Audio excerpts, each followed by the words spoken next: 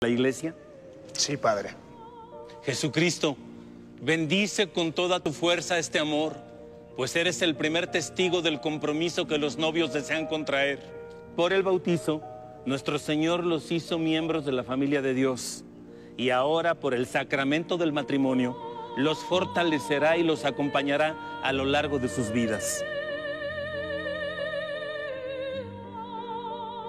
¿Alguno de los presentes conoce algún impedimento para que esta boda se realice?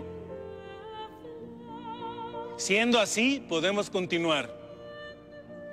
Puesto que quieren contraer santo matrimonio, unan sus manos.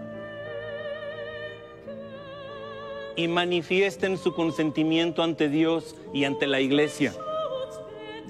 Arturo, ¿aceptas por esposa a Teresa Chávez? Sí.